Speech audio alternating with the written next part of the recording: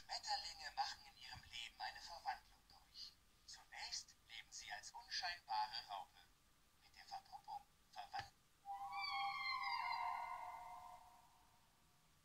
Der Karpfen lebt bevorzugt in Teichen, die Hummer leben am Meeresboden.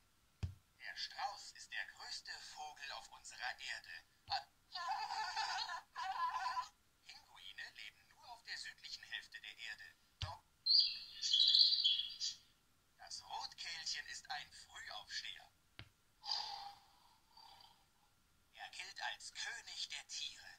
Insgesamt gibt es knapp 40, insgesamt gibt es knapp 40 verschiedene Arten von Mäusen.